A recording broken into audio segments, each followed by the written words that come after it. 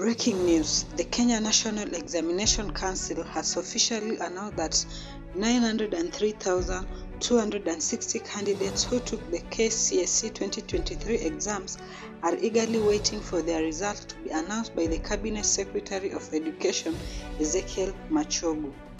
News from the reliable sources stated that the Education Cabinet Secretary Ezekiel Machogu will announce the KCSE 2023 results early tomorrow, Monday, 8th January 2023, at the Mtihani House in Nairobi.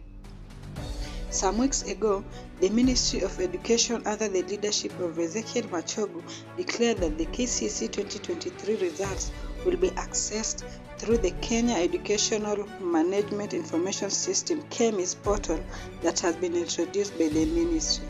This has happened after CS Machogu made to the public on Friday, December 29th that the kcc results, results announcement has been postponed to the second week of January.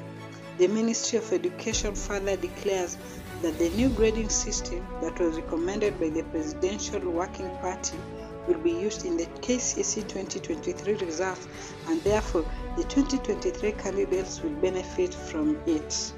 What do you think about the results? Do you think they'll be credible? Keep subscribing for we'll be keeping you posted any moment the results will be